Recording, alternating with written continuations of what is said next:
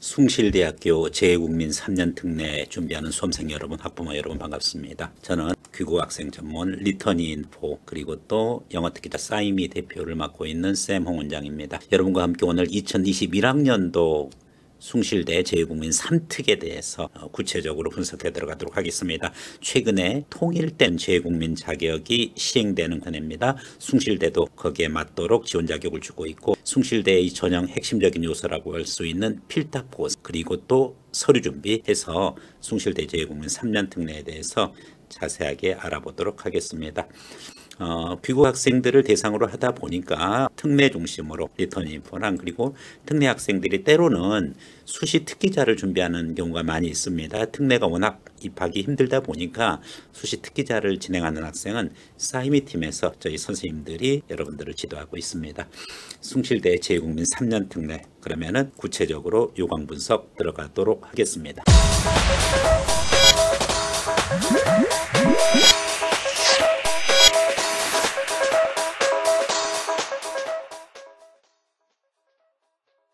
네, 숭실대 2021학년도 재국민 특별전형 모집 요강입니다. 중고교과정 해외 이수자 정원의 2%에 해당하는 인원을 정원 밖으로 이렇게 이제 정원과 별도로 2% 인원을 정원에 해당하는 2% 인원을 정원 밖으로 모집한다. 정원 내에서 모집하는 것이 아니라 그래서 정원 외 2%라는 표현을 씁니다. 정교육 과정 해외 이수 북한 이탈 주민은 숭실대 웬만큼 서류 준비해서 넣으면 다 합격합니다. 그래서 어 혹시 뭐 정교육 과정 해외 이수나 북한 이탈 주민 세터민 학생들이 숭실대 지원하고자 하면은 그냥 저에게 전화 주세요. 그냥 현장 학원으로 그러면은 기본적인 컨설팅만으로도 충분히 숭실대 합격합니다.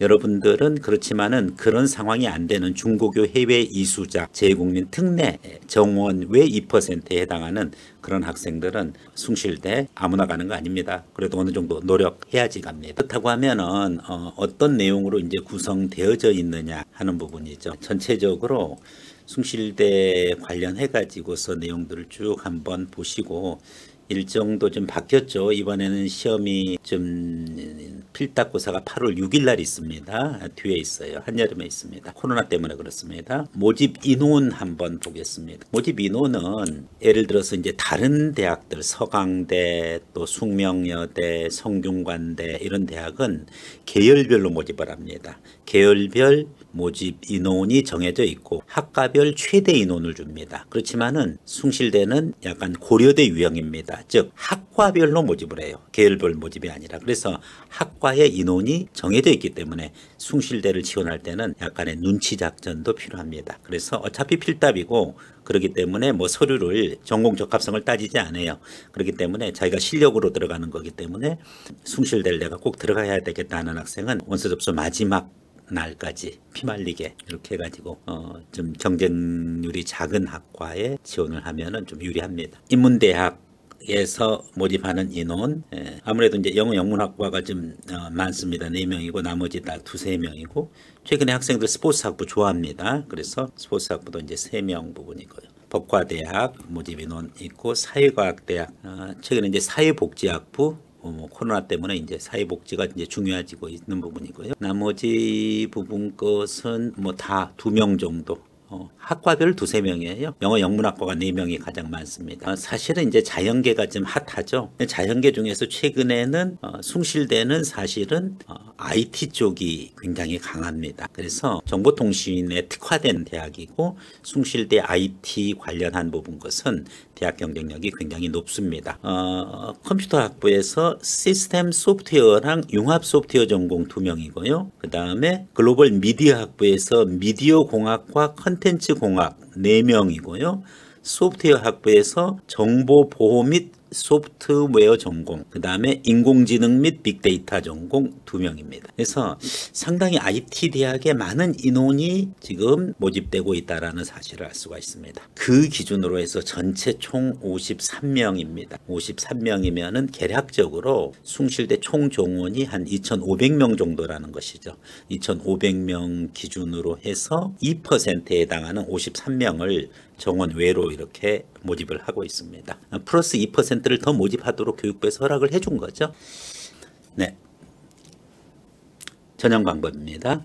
에, 국어 및 영어 필답고사 기준으로 해서 네, 모집 인원의 3배수다. 2단계는 지원 자격 심사니까 패스와 fail이죠.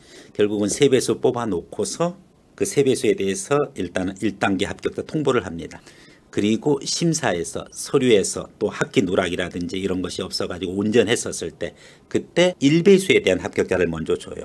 그럼 사실은 3배수 중에서 일단 뭐냐면 자격 안 되는 사람 빼고 1배수 정도의 인원에게 주기 때문에 대략 한 2배수까지는 안 되지만 어느 정도 인원들은 나는 1차 합격하고 2차 최종 합격이 안 된 상태에서 스탠바이 하고 있으면 됩니다. 그러면은 12월 달에 가서 추가 합격을 또 해줍니다. 8월 6일 날 시험 보는 부분이고요. 여러분들이 이제 필답고사 숭실대 기준으로는 어, 국어랑 영어 필답고사 기준으로 이렇게 되어 있는 만큼 숭실대는 어, 수학 필답 고사가 없으니까 어, 부담이 좀 덜하죠. 그래서 어, 여러분들이 이제 수학 필답이 없다는 것이 숭실대의 특성이다. 그렇게 이해를 하고 문과나 이과나 관계없이 모든 지원자가 예, 국어 및 영어 필답고사만 준비하는 거기 때문에 수학에 부담이 큰 학생들이 주로 이제 지원을 합니다. 예를 들어서 이제 홍익대라든지 또 세종대 이 경우에도 어, 거기는 수학 필답 이과는 수학 필답이 있어요. 그렇지만은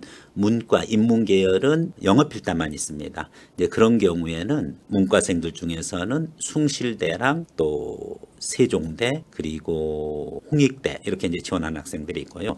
이과 수험생들 중에서 수학이 부담스러운 학생들은 국어 및 영어 필답만 있는 이와 같은 숭실대를 지원을 해서 여러분들이 적극적으로 어, 노려보면 되겠습니다. 나머지 이제 관련해 가지고서 요강에 대해서 여러분들이 에, 좀 챙기고요. 특히 이제 한국 국제학교들은 우리나라 방식으로 생활기록부를 내도 어, 되니까 편리합니다. 그리고 어, 제출 서류 관련해 가지고서 각 신분별로 제국민 그 자격별로 어, 서류들이 조금씩 다르니까 이 부분 거 유의해주고 뭐 컨설팅이 필요하면은 요청을 하시기 바라겠습니다. 종합기록표라든지 외국학교 조사표 철저하게 잘 준비해서 어, 학력자의 동의서 관련되는 부분과 다 마찬가지입니다. 그래서 전체적으로 어, 숭실대 관련해가지고 여러분에게 입학처에서 재국민 3년 특례 기준으로 제시한 요강을 분석을 해가지고 여러분에게 안내드렸고 구체적으로 그럼 국어 영어 필탁고사를 어떻게 준비해야 하느냐 지금까지의 기출문제랑 그리고 또 관련해가지고 강좌들이 이렇게 쭉